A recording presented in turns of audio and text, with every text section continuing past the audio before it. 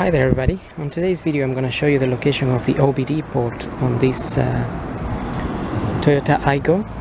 This is a 2007. Um, basically if you go in the driver's side and you look by the footwell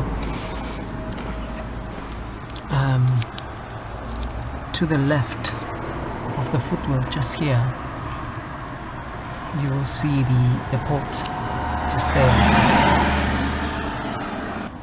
well, I hope this video helps and uh, thanks for watching.